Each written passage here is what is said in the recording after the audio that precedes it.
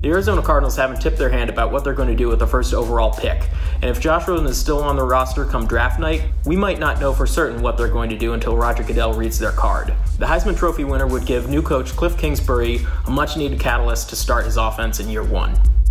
Right now, the big question for the New York Giants is how committed they are to finding Eli Manning's eventual successor. General Manager Dave Gettleman has talked about wanting to win while rebuilding, so it's hard to tell exactly what his plans will be. But even though the Giants have two first round picks after trading Odell Beckham to the Browns, it wouldn't be a stunner to see him bypass the likes of Dwayne Haskins and Drew Lock to build up the defense.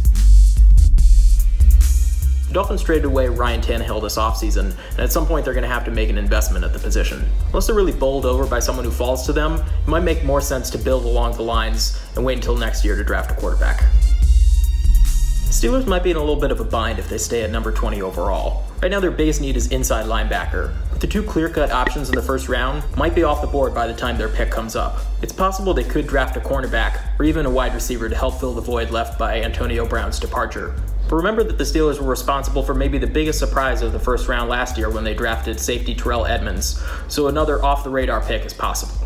With the last pick in the first round, it's likely that Iowa tight ends TJ Hockenson and Noah Fant will be off the board by the time New England picks. While it's a good bet that the Patriots will invest in a tight end and maybe a big bodied wide receiver early in the draft, that might not necessarily be with their first round pick. New England also needs to replenish its defense, and Belichick likely won't be boxed in by short term needs.